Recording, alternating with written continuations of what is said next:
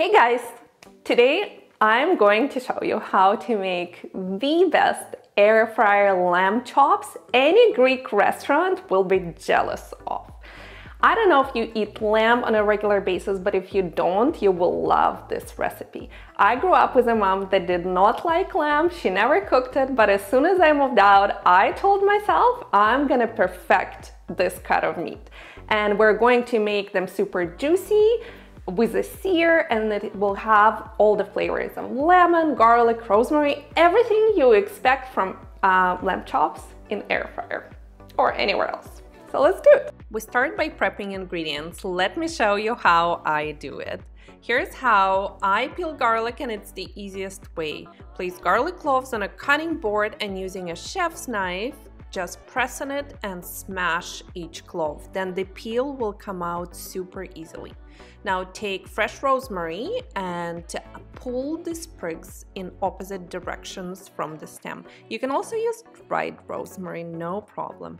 Then give it a chop. I kind of like hold my hand on the top of chef's knife and this is super, super easy. Now we're going to take a bowl and add a drizzle of extra virgin olive oil. That's my favorite oil to cook with lamb but you can use any oil grapeseed oil or avocado oil. Avocado oil would be great. Then you add your chopped rosemary into the bowl and grate garlic. This is my favorite way to grate garlic to get the most flavor using this microplane zester. I will link to it in the description. And now give it a stir. This is kind of like our marinade for our air fryer lamb chops. No salt. Please note no salt or pepper. So I'm using these lamb loin chops from favorite Costco. They're not cheap. This is definitely a treat, but here we are. They have a bone in. You can also use those lamb chops with a long bone like a lollipop they're called now you add your lamb chops into the bowl and i like to mix everything with my hands you can also use tongs make sure to coat all meat in this marinade cover with plastic and refrigerate for 30 minutes. That's all it needs.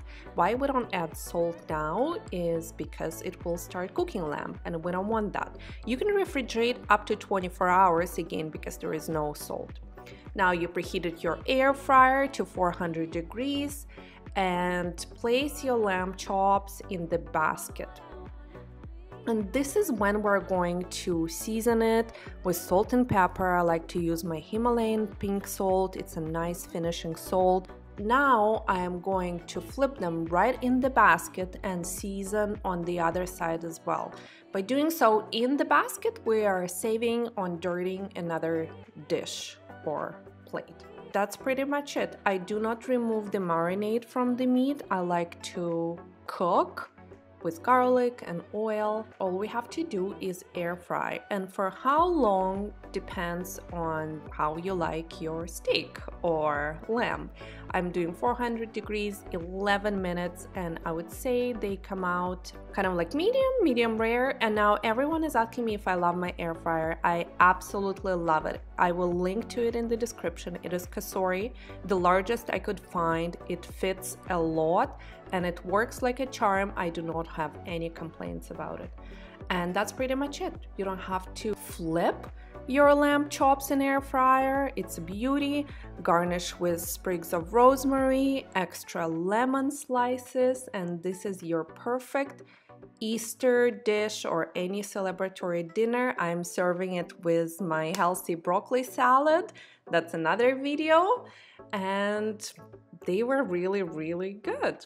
I hope you guys enjoy my air fryer lamb chops and happy Easter!